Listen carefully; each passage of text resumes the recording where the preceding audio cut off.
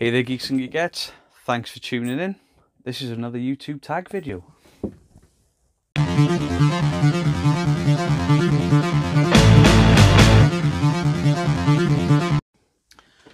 So guys, this is my Leroy Screwballs getting to know me tag thing. Um, if you haven't watched Leroy Screwball's channel, um, go and watch it. Uh, the guy is hilarious. Um, him and his uh, partner, they're really, really funny. Um, I'm quite new to Leroy Screwball's channel, but some good stuff on there. So, much like before, there's some questions. This time it's 14 instead of 15. Uh, so I'm going to try and answer them. Um, I was tagged by the Funko Pop Tart. So I will leave a link for Leroy Screwballs you to follow. I will leave a link for the Funko Pop Tart. Um, and please go and follow Funko Pop Tart because he's been instrumental in me getting to 100 subscribers. So on with the questions. Number one, what is your most expensive pop?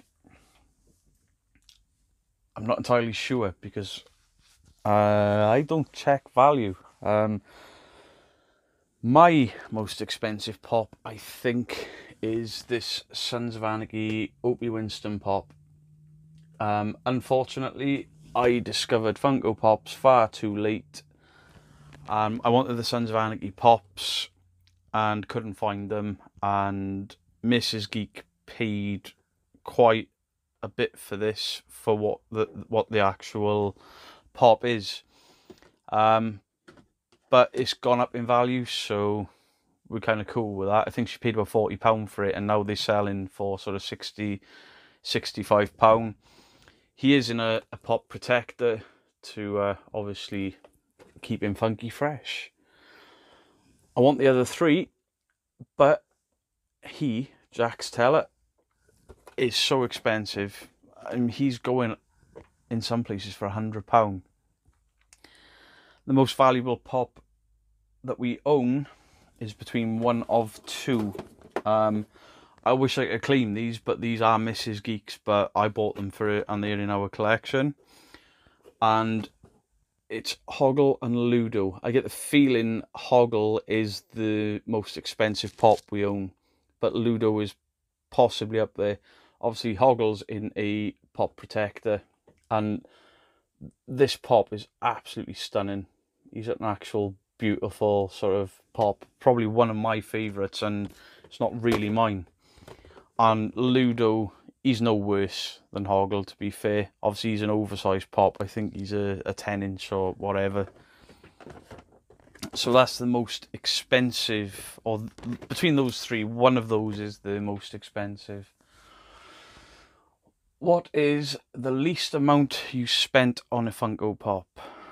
Technically, the least amount I've spent on a pop is Sherlock with violin because he was free. Um, I've started developing a collection for my stepchildren. One of them still collects. The eldest, Josh, decided he didn't want to collect anymore. And he could have been selfish and sold them all, but he didn't. He gave them to me because we bought them in the first place, which is probably fair. Obviously, I subscribe to ZBox, so I get pops for ZBox. So if you take the cost of the box into account, they are probably cheap in 40 years, what will people be nostalgic for?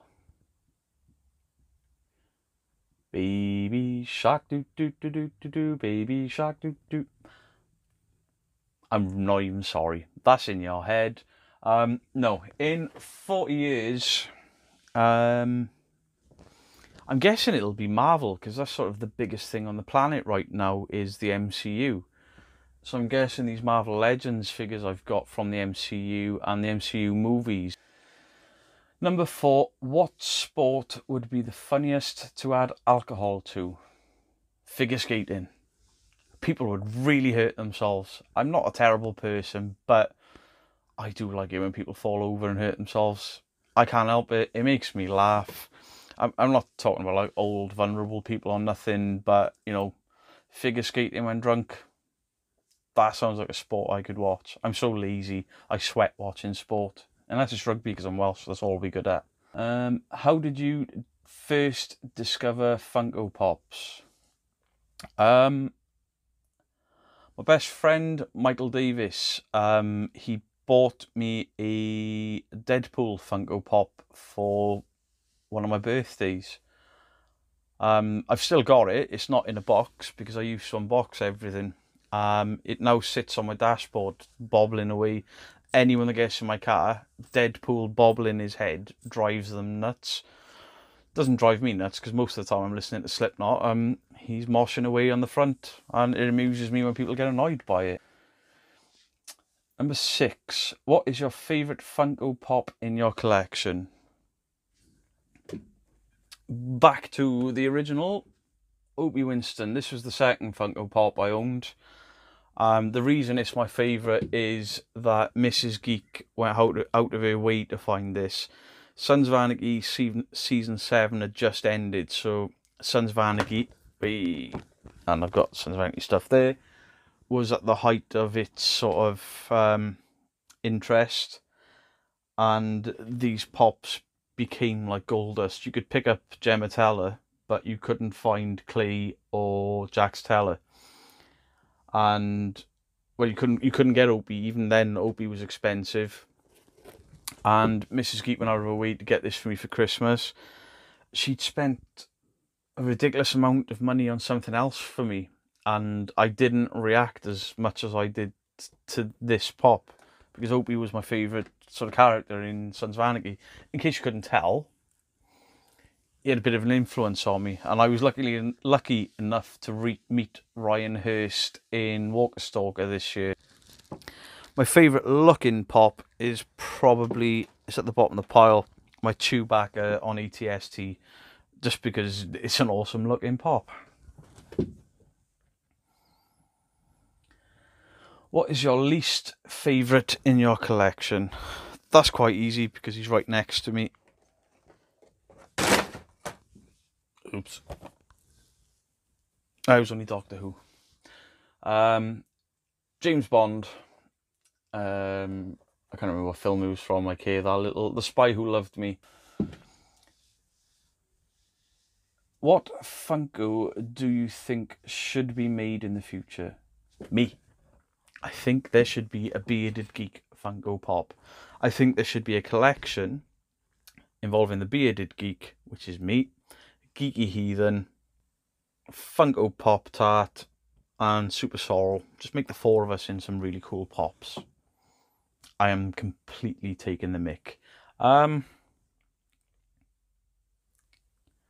I'd actually like a Stephen King pop. He's my favourite author. Um, even the bad films that have been done of his books, I quite enjoy.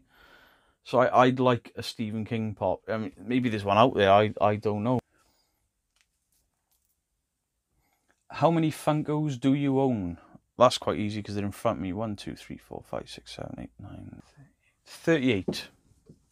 But the 38 is split across me and Mrs. Geek. Now, I buy random pops that I like. If it's got a special edition sticker or if it glows in the dark, I'll pick it up.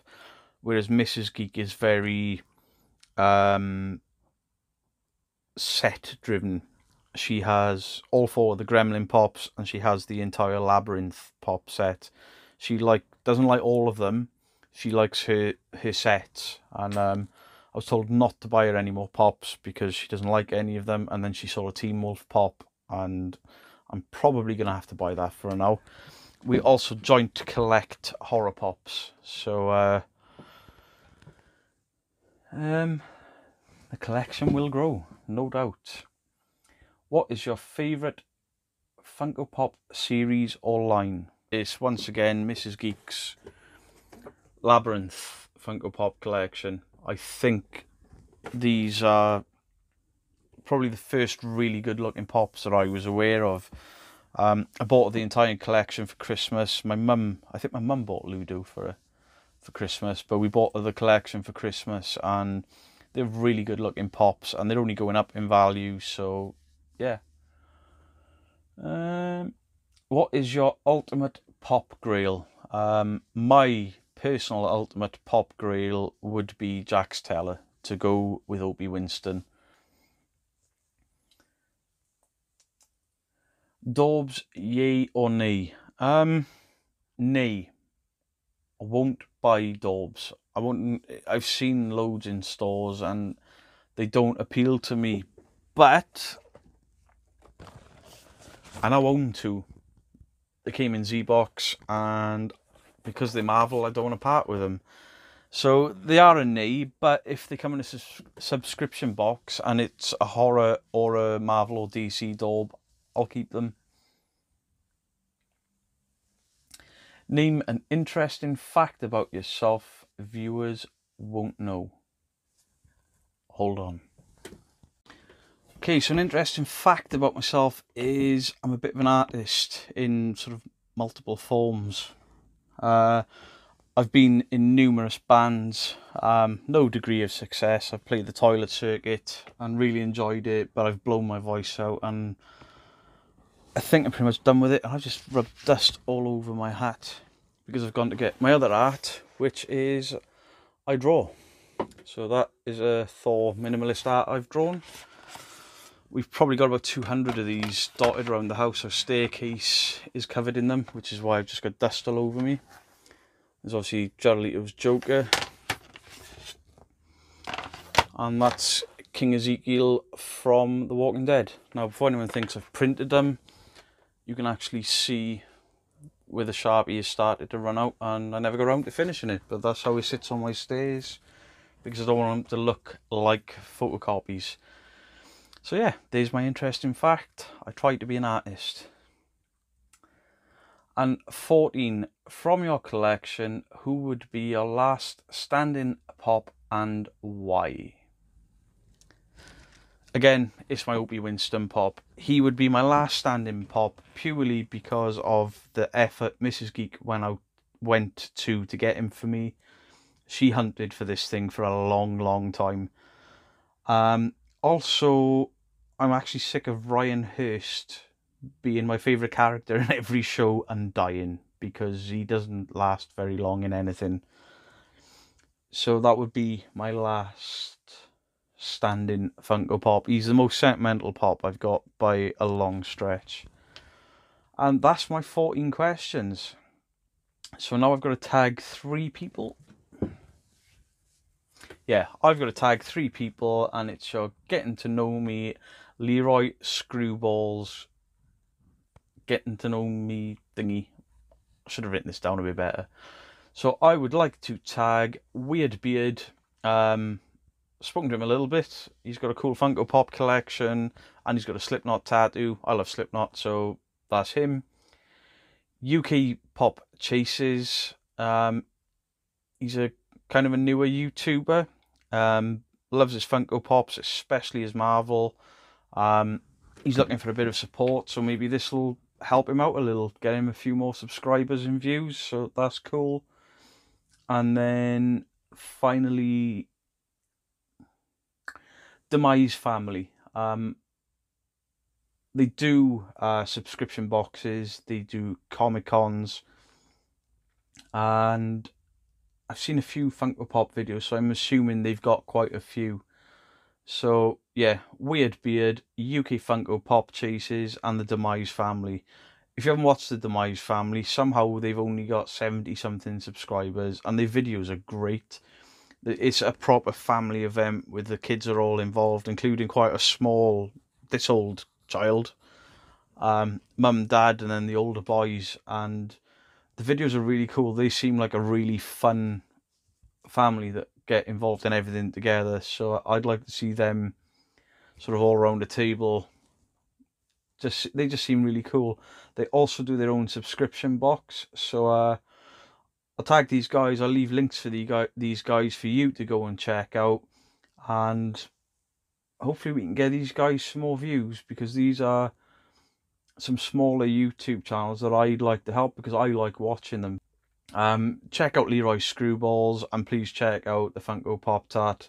The guy has been relentless in his support of me. Um, he's tagging me on Twitter, he's retweeting for me, and the guy's got his own channel that he could be doing all this with, and he does, but he likes my content for some bizarre reason, and he's helped me out no end. So, guys, I've been the Bearded Geek. This has been 14 questions. I've rambled. I'll see you guys soon. Thank you for tuning in. Goodbye.